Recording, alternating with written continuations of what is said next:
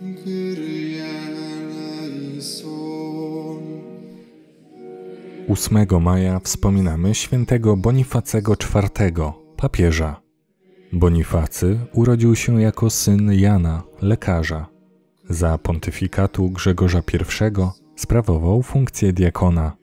Po wyborze na papieża 25 sierpnia 608 roku został zmuszony do dziewięciomiesięcznego oczekiwania na zatwierdzenie go przez cesarza Fokasa.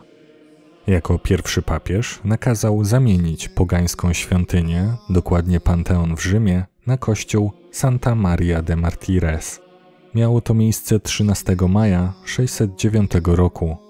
Bonifacy wprowadził też obowiązkowe święcenia kapłańskie dla zakonników, sam popierał życie mnisze i zamienił swój dom w Rzymie na klasztor.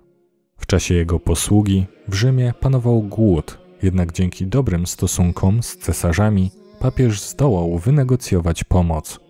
Za jego pontyfikatu zaczęto najprawdopodobniej obchodzić Dzień Wszystkich Świętych w kościołach wschodnich, chociaż nie było to jeszcze oficjalne święto.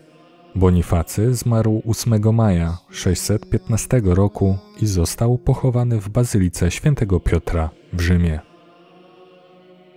Módlmy się.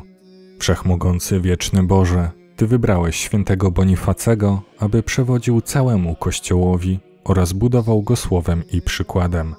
Za jego wstawiennictwem strzeż i kieruj na drogę zbawienia wiecznego pasterzy Kościoła, razem z ludem im powierzonym przez naszego Pana, Jezusa Chrystusa, Twojego Syna, który z Tobą żyje i króluje w jedności Ducha Świętego, Bóg przez wszystkie wieki wieków. Amen.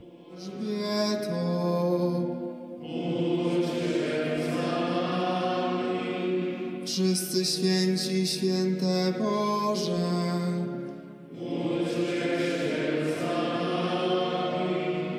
Bądź nam